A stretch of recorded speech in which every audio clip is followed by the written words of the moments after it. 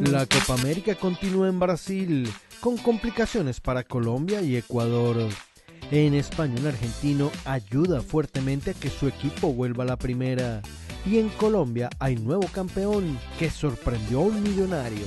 ¿Te quedaste sin seguro médico? Soy Claudia Erazo de Asegúrate con Claudia. A partir de febrero 15 hasta mayo 15 podrás obtener seguro médico por medio del mercado de salud, conocido como Obamacare. Llámame 770-415-1121. Comenzamos en Brasil, donde Perú se acordó de ganar y venció por 1 a 2 a una Colombia que se de terreno en el grupo B de la Copa América mientras que Venezuela sigue dando problemas a sus rivales y estropeó la recuperación de Ecuador al empatar a dos.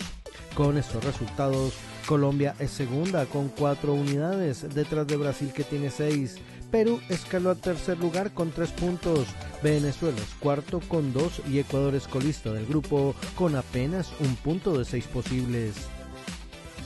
Pasamos a Uruguay, donde el Peñarol dejó atrás una racha de tres empates consecutivos y volvió al triunfo con una contundente goleada por 4 a 0 ante el Deportivo Maldonado para volver a ponerse en carrera en el torneo Apertura y quedar a solo tres puntos de la cima al cierre de la sexta fecha. Los goles fueron del experimentado Walter Gargano, el doblete de la joya Agustina Álvarez y uno en propia valla de Joaquín Varela sellaron el triunfo. Pasamos a España, donde el Rayo Vallecano, con un gol del argentino Oscar Trejo, se convirtió en nuevo equipo de primera división al vencer por 0 a 2 al Girona y remontar la eliminatoria de la final de la promoción del ascenso tras el 1 a 2 encajado en Madrid.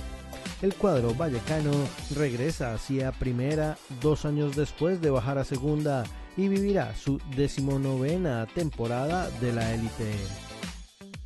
Y terminamos en Colombia, donde con un doblete del delantero Juan Fernando Caicedo de 31 años dio el título del torneo Apertura al Deportes Tolima, que remontó como visitante y se impuso por 1-2 a Millonarios en el partido de vuelta de la final y alcanzó su tercer título nacional.